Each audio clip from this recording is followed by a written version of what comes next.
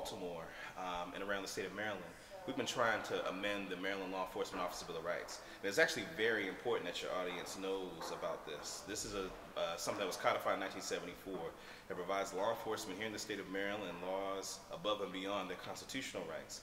Um, among those, law enforcement, only other sworn law enforcement officers can investigate allegations of police misconduct or excessive force, or the police trial boards to determine disciplinary action on law enforcement officials is made up of other law enforcement officials.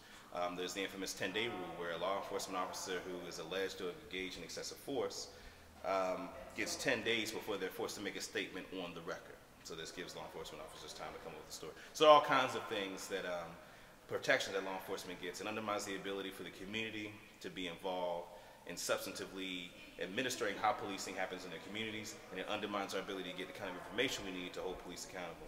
Um, and so that is, a, is, is, the legislative angle that would most affect uh, this particular situation.